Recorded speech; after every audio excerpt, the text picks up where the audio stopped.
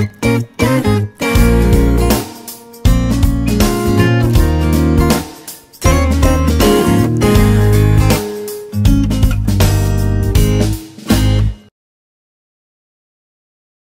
Halo semuanya, selamat datang di videonya Gita. Di video kali ini gue mau membicarakan tentang apa yang gue lakukan di Lombok kemarin. Gue ke Lombok itu gara-gara gue harus syuting di sana. Buat kalian yang baru menjadi viewer gue, gue adalah salah satu host di segmen Halal Living namanya yang ditayangin setiap Jumat dan Minggu di uh, Indonesia Morning Show di net. Video ini sebenarnya udah pernah gue rekam sebelumnya. Kalau misalnya kalian inget di video beropini yang curhatan 4 bulan, setelah itu gue bikin video ini nih buat si Lombok ini tapi harus gue bikin ulang soalnya ya gitulah gue tidak puas dengan hasilnya. Anyways kita mulai aja videonya. Di syuting kali ini itu adalah syuting pertama yang gue sendirian. Liputan kemarin yaitu di Makassar hostnya nggak cuma gue jadi gue bareng sama Hamida sempat deg-degan sempat ngerasa takut nggak bisa mendeliver dengan baik tapi um, bodo amat lah. Kayak yang gue bilang sih deg-degan. Karena selama ini biasanya kalau sama Mida kita bisa ngomongnya tektok gitu. Jadi gue nggak usah mempelajari semua. Gue bisa bagi sama dia. Jadi kita bisa pilih mana yang mau gue omongin dan mana yang mau diomongin. Tapi kalau ini gue mesti ngelakuin semuanya sendirian. Dan gue ibaratnya pengalaman gue liputan itu baru kemarin doang sama dia. Dan itu I don't think it was enough waktunya buat belajar nge-host. I did it anyway. Nah Lombok ini gue sebenarnya pernah ke sana jadi waktu itu tahun mungkin 2013 atau 2014 uh, makanya pas si Lia bilang lokasinya itu akan di Lombok gue ngeliat item-itemnya gitu ngeliat lokasi-lokasi yang akan kita santronin. Gue kayak bilang aduh ini udah pernah sebelumnya. Gue rasa orang-orang lain as a turis pasti udah pernah lah kayak gini. Kayak beberapa tuh menurut gue template nuris di Lombok banget. Sempet agak-agak second guessing sih apakah nanti liputannya akan menarik karena ya orang-orang pasti ya ini kalau udah tahu di Lombok emang kayak gini gitu.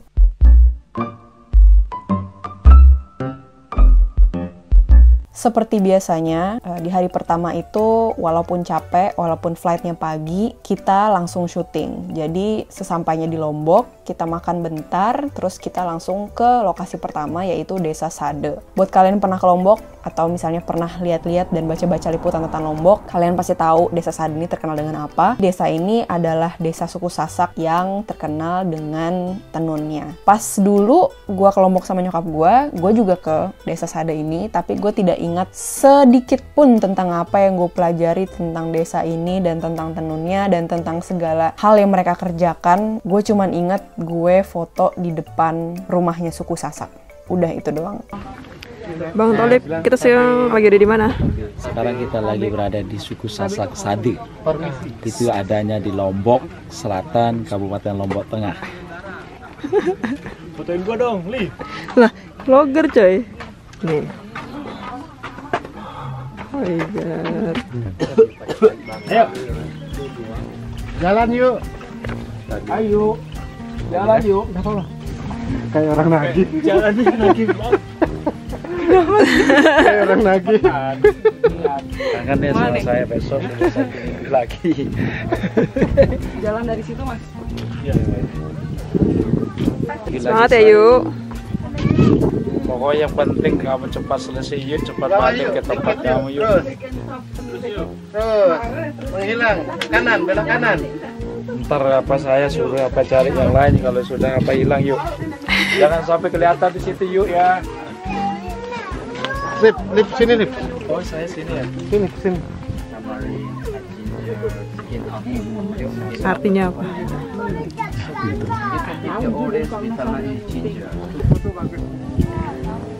Icon Sade, Pohon, pohon tertua. bukan rumahnya, bukan masjid ya, pohon.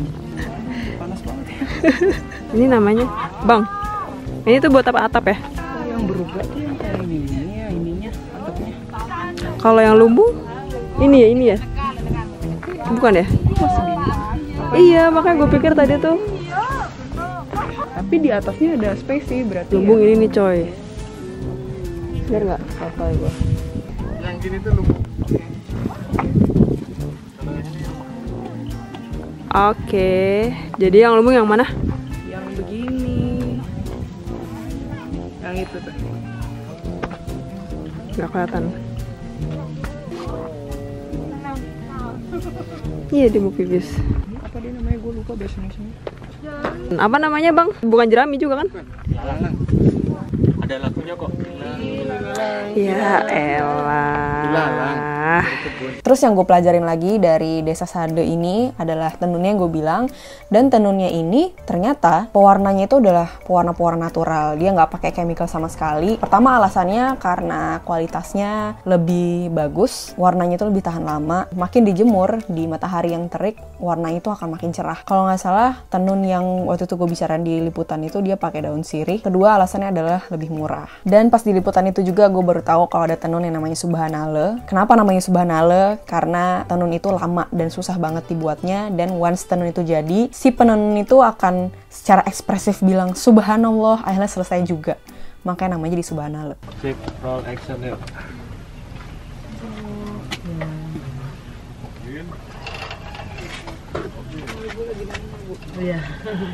Sekarang kamu senyum, nanya-nanya apa aja terserah. Gue ngambil stop-stop. kalau khas dari desa Sado ini atau suku Sasak ini yang motifnya apa? Motifnya itu yang subhanallah. Subhanallah. Subhanallah, subhanallah itu karena saking rumitnya pekerjaan sampai tiga minggu baru siap rapi jadi subhanallah artinya. Serius dari itu? Iya dari itu dari keluhan yang nenon dulu yang, kami di sini subhanallah subhanallah gitu katanya selesai juga akhirnya. Kan tadi ibu cerita ibu dari 8 tahun atau 9 tahun. Jadi nanti kalau ibu punya anak harus diajarkan. Harus diajarin sampai um, apa dari umur 8 tahun 9 tahun. Memang kalau yang dari itu kan beda, beda kenyataannya. Di benang yang dibeli udah dikasih warna dari itu dari apa kimia itu memang beda kelihatannya. Kelihatannya tempat. Ada yang baik. Kampung. Ada baik. Ada kenangan anak baru kita bikinan kan. Permisi dulu mas ya.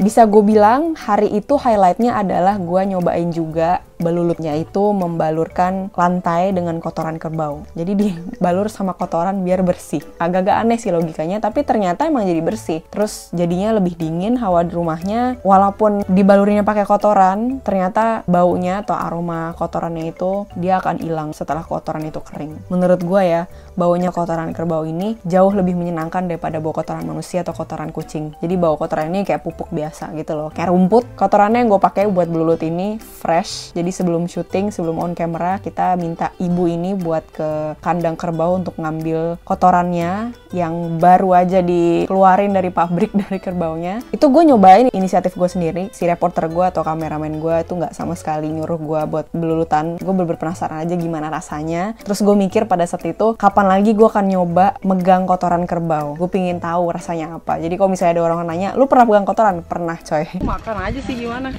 Hah? Gue makan. Gue makan pakai tangan gue. Orangnya jadian deh. Pakai kiri. Lo kanan gak dipakai kok. Oh, iya. Pakai tangan kiri. Iya. Bau tai sih.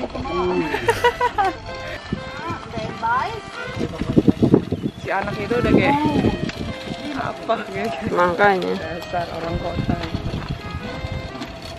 Ini dia baru keluar ya bu? Iya. Kotorannya. Ada yang lo mau jelasin buat vlog lo? Jadi namanya belulut teman-teman. Belulut itu tuh kayak em, udah turun temurun sih dari suku Sasak itu dia pakai kotoran kerbau buat melumuri lantainya. Ngebersihin iya seminggu sekali. Gitu. Terus ini namanya belulut itu. Nah, jadi suku Sasak ini terkenal dengan tradisi ini nih, belulut namanya. Jadi mereka melumuri lantai dengan kotoran kerbau. Nah, kenapa sih mesti pakai kotoran kerbau? Aku mau tanya-tanya sama ibu. Jadi bu, Ntar dulu, lagi. Aja tuh, di situ lagi. ya sama. Sama. Tas lo buka aja gitu nggak apa-apa. Tadi ibu pakai tas. Tapi ribet nggak? Bener. Terus sama yang saya pernah baca juga katanya bisa menghindari dari nyamuk, dari Terus seberapa sering sih bu harus dibersihkan? Satu minggu. Satu minggu aja, nggak usah terlalu sering-sering gitu. Terus yang kalau kayak gini keringnya berapa lama nih bu? paling nanti satu jam satu jam udah keringnya itu kita mulai Terus nanti kalau udah kering udah nggak ada bau. iya iya Ah, persiapin tangan kiri jam awas. ntar jamnya ada kotorannya buka abis bajunya Kalau nggak nanti bukanya pas direkam aja biar nggak jumping. Oh iya ini. Ya nggak sih? Tadi kan lu pakai kan? Baunya semerbak. Backshot dong, tan dulu, tan dulu. Saya ikut gambar juga. Betul.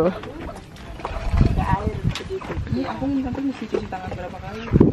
nanti cepat tinggal Serius? Om Mamet, Om Mamet. Om, jangan rokok di situ, Om. Muncul nanti, Mat. aku kende oh ngadis tuh Sambil ngomong boleh ya mas? Boleh dari berdiri. Semangat. Nanti aku di situ ya bu. Ya. Uh, action ya. Nah bu, aku di mana nih bu? Ini. Oke. Ya. Apa nih yang mesti aku lakukan air iya di Seberapa banyak airnya? dikit ya Gini? iya Terus? Gini-gini aja? ya nambah lagi airnya nah ya licin Iya. Tambah lagi gini-gini aja ya bu? tambah air sedikit nah ini yang berimbingnya dia licin Kesan dan pesannya? Perfect. Gak ada baunya kok. Nah, Eda ambil nah ini Oh ini digini-gini aja. Berarti nggak usah terlalu tebel ya bu ya? ya salah lima Itu apa tuh artinya? Kamu kok bisa bahasa lombok? Oh. Jilbab awas jilbab. Yang nonton baru Udah mas? terus lah. Lu ini, Bang. Ntar gua lumurin. Kalian tahu apa yang kita lakukan setelah kita ke desa Sade itu? Makan ayam taliwang. Gua makan ayam taliwang di saat tangan kiri gua masih bau kotoran kerbau. Gue udah nggak peduli lagi sih tangan gue itu masih bau-bau gitu karena gue mikir udah gue cuci dan gue juga hari itu udah lapar banget dan ayam taliwang itu adalah makanan favorit gue all time favorite salah satunya yang penting gue makan. 后我们。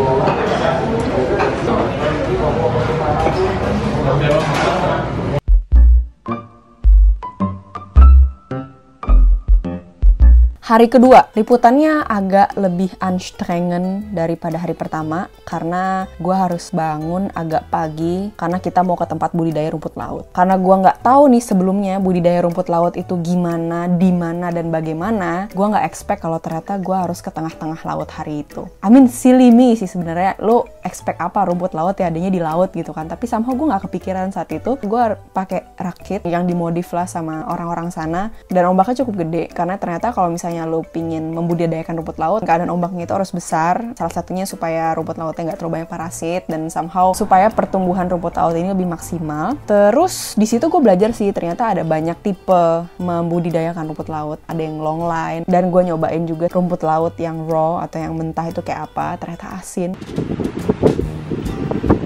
Gaya nggak sih sebenarnya? Dia tuh puasa nggak sih? Gitu sosok candid gitu.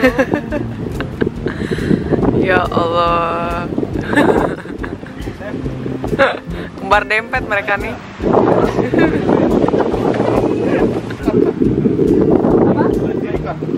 Oh iya. Oh, ini perang perang ayam. Chicken fight, chicken fight. Nanti si kameramen naiknya ini. Terus gue naiknya gitu.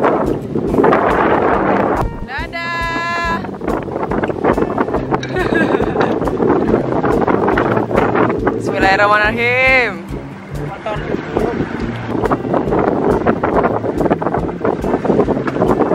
Bang Mehmet, titip sepatu.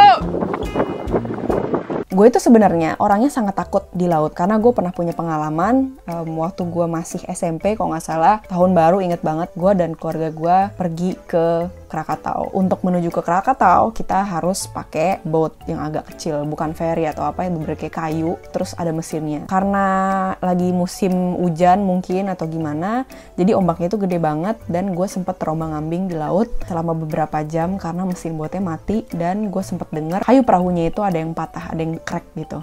Terus gue agak-agak spot jantung sih di situ. Itu kejadian nggak cuma sekali itu aja, jadi kita uh, attempt dua kali untuk mencoba ke Krakatau dan pada akhirnya attempt kedua itu udah makin parah dan kita memutuskan untuk tidak ke Krakatau. Ya, jadi intinya gue itu sangat takut sebenarnya sama laut, tapi pada saat itu gue merasa ini salah satu kesempatan gue buat men-challenge diri gue sendiri. Yang penting gue bisa ngelakuin tugas gue menjadi host dengan sempurna.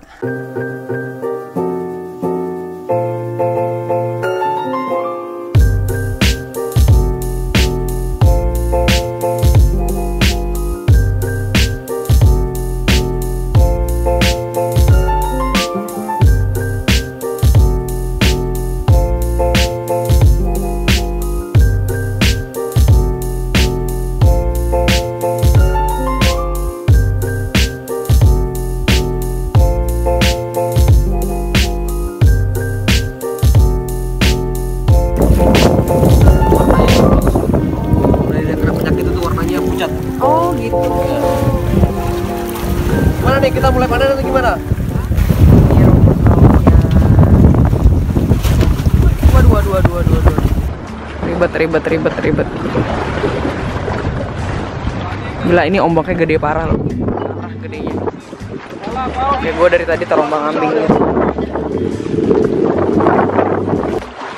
Ayo Lia, semangat.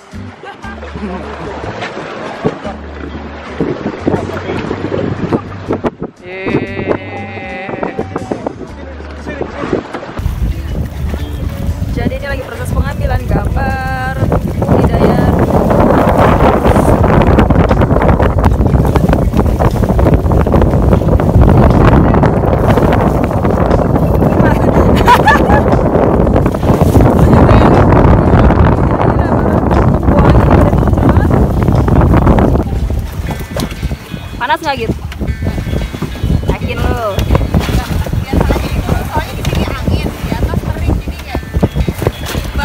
hitamnya nggak berasa ya. Pulang-pulang udah hitam aja iya.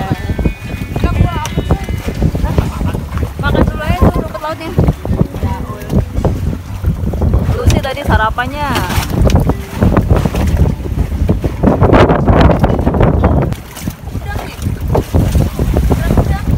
Aneh.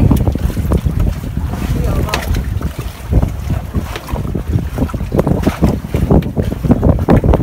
Tadi kaki gue digerobak mereka. Oh iya bener. Ini udang apa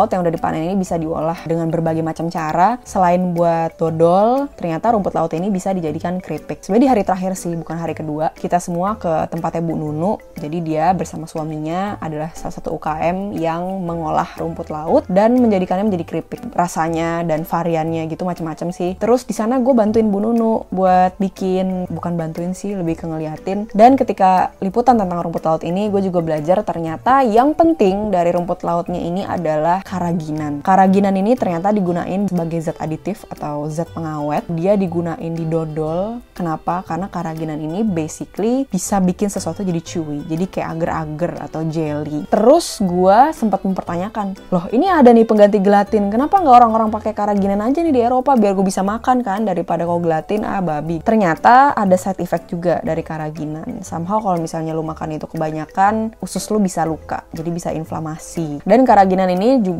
dipakai di dairy product sih. Jadi basically karaginan itu dipakai sebagai thickening agent. Jadi kayak santan gum gitu fungsinya.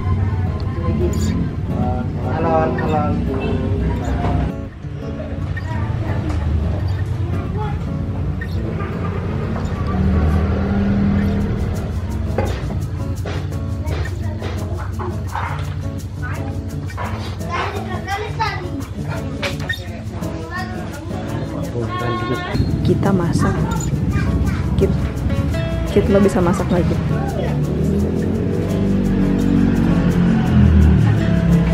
Kesok ini bang ya? Sok sok kata sok.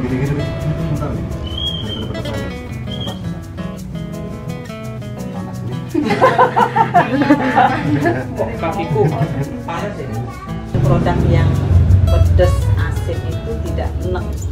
Orang nagih. Ternyata pasar menginginkan itu. Terus selain varian yang pedas tadi ada apa? Ada yang tulang ikan. Oh tulang ikan. Tulang ikan ternyata ada.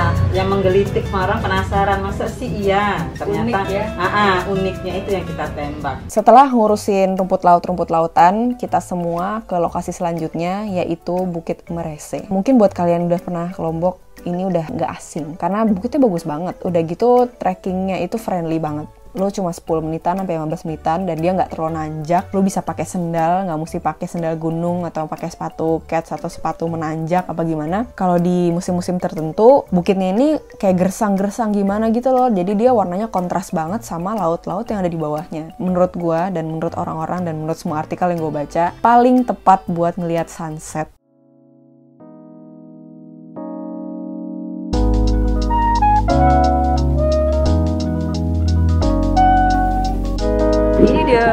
Balik layar halal living with kita Safci. Lagi ambil dia jalan di Bukit Merese Lombok Kit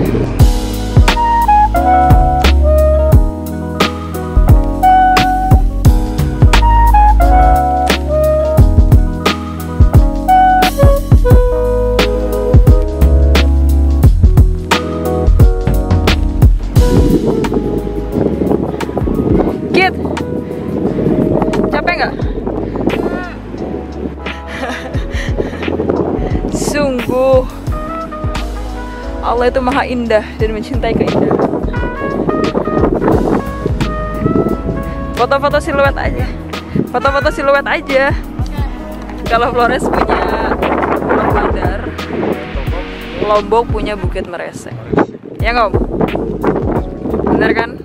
Jadi kita habis selesai liputan di Merese terus sekarang kita mau cabut. Nggak mau makan kan? Udah kenyang? Udah bukan begitu bang Muhammad Muhammad lagi. Mantap. ini kampus kita pada liputan kali ini. Namanya Parjo. Kalau siang kalau malam namanya apa? Jeti. Jeti kenapa Jeti Parjeti. Dia hari ini mau nyari tukang pijet. Mau. Mau. Lelah banget kayaknya padahal ini baru hari kedua tapi dia udah nyari tukang pijet hari kedua lu. oh gitu Hari kedua lu. pas kemarin liputan di mana Garuda mas Indonesia bagus. waduh itu katanya 12 hari di rumah orang Bagus Garuda. Astagfirullah betisnya udah kecil banget itu udah Silakan princess.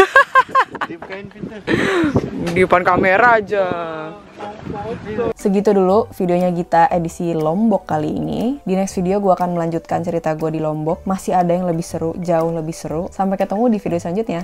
Dadah!